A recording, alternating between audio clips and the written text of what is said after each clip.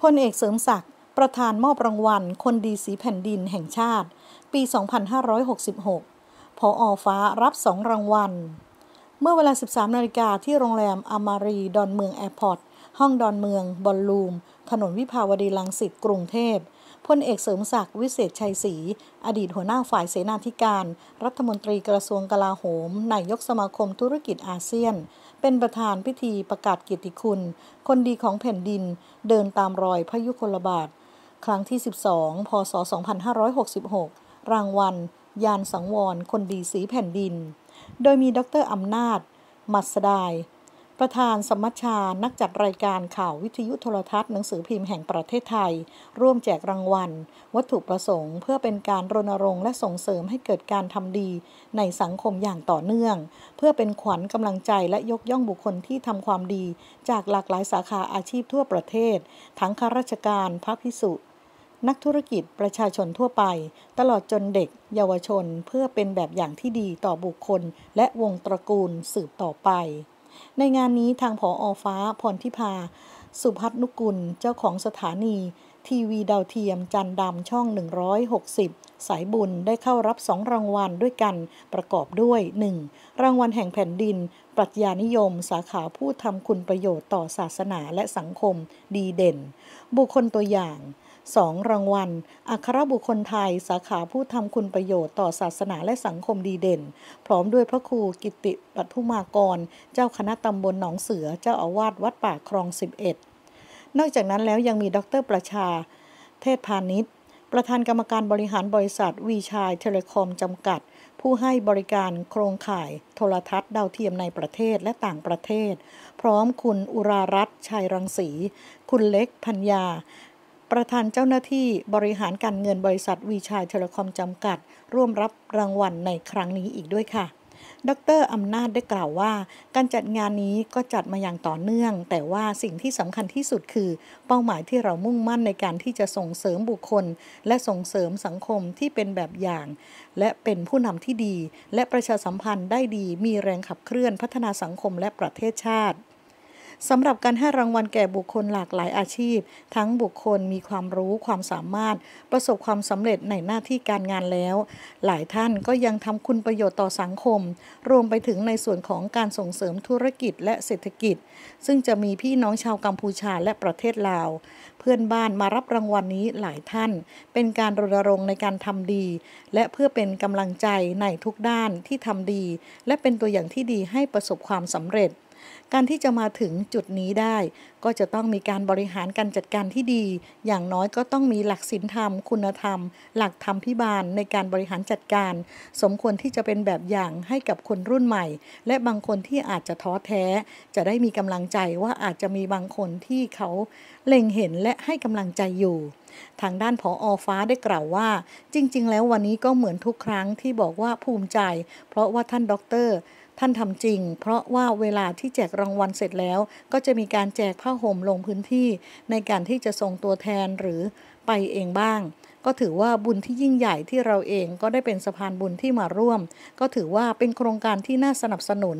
จริง ๆ ท่านดรอำนาจ ท่านทำรางวัลนานมากแล้ว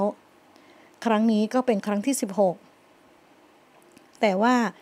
มีเยอะหลายองค์กร 233 องค์กรที่เป็นมูลนิธิและชมรมต่างๆ สิ่งที่สำคัญที่สุดท่านด็อกเตอร์ท่านจะเก่งหลายด้าน โดยเฉพาะสายบุญในด้านธรรมะธรรมโม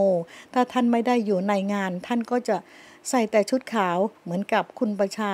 และก็คุณเล็ก มีความรู้สึกว่า ทุกสิ่งทุกอย่างที่เกิดขึ้นมันไม่ใช่เรื่องบังเอิญ ถ้าบังเกิดว่าเราไม่ได้สร้างบุญหรือว่าอดีตชาติ ไม่ได้สร้างบุญกัน สิ่งเหล่านี้ก็จะไม่เกิด ถือว่าบุคคลที่อยู่ตรงนี้เป็นคนที่ปฏิบัติโดย เฉพาะที่อยู่ในศีลผอ.ฟ้าก็ดีใจในการที่ได้สนับสนุนท่านด็อกเตอร์ และท่านด็อกเตอร์ก็เป็นท่านหนึ่งที่อยู่ในการคร่ำวอดของวงการในประเทศไทยที่มีชื่อเสียง คุณประชาและคุณเล็กพัญญาได้กล่าวว่า ตนมาร่วมงานวันนี้ก็เป็นงานที่ทรงเกียรติ เป็นงานที่เราภาคภูมิใจ และเป็นงานที่ชื่นชมบุคคลตัวอย่าง บุคคลที่มีคุณสมบัติที่ควรจะยกย่องเชิดชู และให้กำลังใจกับหลาย ๆ หน่วยงาน หลาย ๆ บุคคล หลาย ๆ องค์กร งานนี้ถือว่าจัดแล้วเกิดประโยชน์สร้างสรรค์สังคม และให้กำลังใจกับคนในสังคม และเป็นการเฟ้นหาคนดีแบบอย่าง ให้กับคนในสังคม และให้กับ ทั้งผู้ใหญ่เด็กและเยาวชนให้เห็นแบบอย่างที่ดีว่า ในสังคมไทยและเยาวชนให้เห็นแบบอย่างที่ดีว่าในสังคมไทยก็ยังมีคนที่เป็นต้นแบบ เป็นแบบอย่างที่ทำคุณงามความดีทำคุณประโยชน์ให้กับประเทศชาติ ขอกราบขอบพระคุณ ดรอำนาจและผออฟ้า ที่ให้มีกิจกรรมดีๆ แบบนี้ขึ้นมา ช่วยส่งเสริมและให้กำลังใจกับคนที่ทำดีในสังคม และตอนนี้คนก็จะได้เห็นว่า การทำดีก็ได้ดี และเป็นขวัญและกำลังใจให้กับคนที่ทำดียิ่งยิ่งขึ้นไป ก็การจัดงานนี้เราจัดกันอย่างต่อเนื่อง แต่ว่าสิ่งที่สำคัญที่สุดนั่นก็คือเป้าหมายที่เรามุ่งมั่นในการที่จะส่งเสริมสังคม ส่งเสริมบุคคลที่เป็นแบบอย่างเป็นตัวนำที่ดีที่จะเป็นกำลังสำคัญในการขับเคลื่อนพัฒนาเศรษฐกิจและสังคม และก็ประเทศชาติ การให้รางวัลแก่บุคคลหลากหลายอาชีพ ทั้งเป็นบุคคลที่มีความรู้ความสามารถประสบความสำเร็จในหน้าที่การงานแล้วหลายท่านก็ยังทำคุณประโยชน์ต่อสังคม รวมไปถึงในส่วนของการส่งเสริมธุรกิจและเศรษฐกิจ ซึ่งจะมีพี่น้องชาวกัมพูชา แล้วก็ประเทศลาวเพื่อนบ้านมารับรางวัลวันนี้หลายท่านครับก็เป็นการรณรงค์เพื่อให้เกิดการทำดีแล้วก็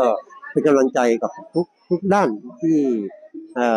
ทำดีแล้วก็เป็นตัวอย่างที่ดีประสบความสำเร็จครับ ถ้าเราทำดีแล้วเนี่ยเราก็จะเจอแต่คนดีเข้ามาใช่ไหมวันนี้ก็เป็นอีกหนึ่งอองค์กรที่เข้ามาก็คือคุณประชาครับซึ่งก็ถือว่าเป็นนักนักบริหารแน่นอนว่ามาถึงจุดนี้ได้ก็ต้องมีการบริหารการจัดการที่ดี อย่างน้อยก็ต้องมีหลักจริยธรรมคุณธรรม หลักธรรมาธิบาลในการบริหารการจัดการก็สมควรที่จะเป็นแบบอย่างให้กับคนรุ่นใหม่ แล้วก็คนที่อาจจะท้อแท้จะได้มีกำลังใจว่ายังมีหลายหลายคนที่เขามองเห็นถึงแล้วก็ให้กำลังใจอยู่ครับค่ะแล้วก็ก็คือจริง ๆ แล้ววันนี้ก็เหมือนเหมือนทุกครั้งที่บอกว่าภูมิใจเพราะว่าท่านดรท่านทำจริงนะเพ ราะว่าเวลาแต่ละครั้งพอรับรางวัลเสร็จแล้วท่านก็จะมีการแจกผ้าห่มหรืออลงพื้นที่ในการที่ส่งตัวแทนหรืออาจจะไปเองบ้างนะก็ถือว่าเป็นบุญที่ยิ่งใหญ่ที่เราเป็นสะพานบุญในการที่มาร่วมก็ถือว่าเป็นโครงการที่น่าสนับสนุน จริงๆก็คือท่านดรอำนาจเนี่ยท่านทำรางวัลเนี่ยตั้งแต่